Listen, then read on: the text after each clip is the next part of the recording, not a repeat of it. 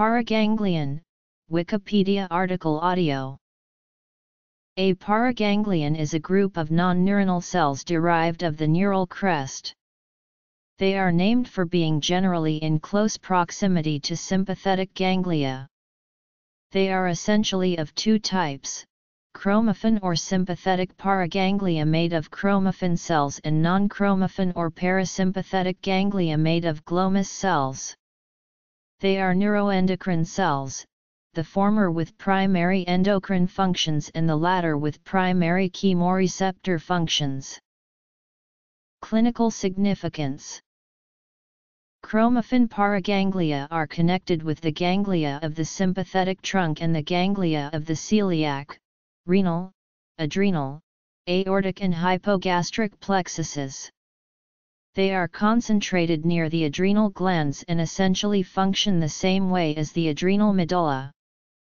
They are sometimes found in connection with the ganglia of other sympathetic plexuses.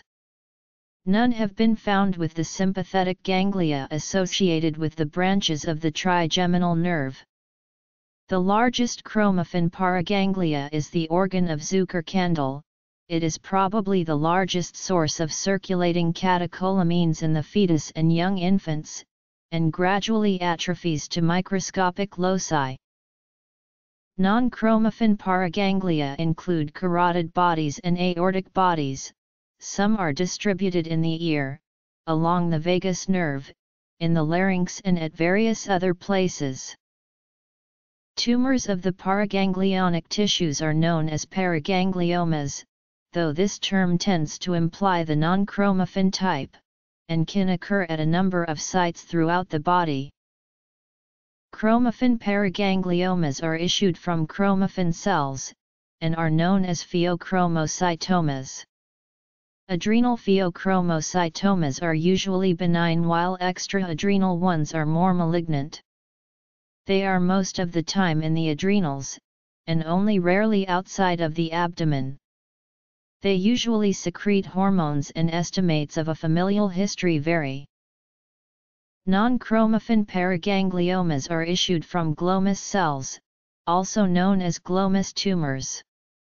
They are usually benign. They are generally present at the head and neck, most often at carotid body or jugulotympanic. They rarely secrete hormones and commonly have a familial history.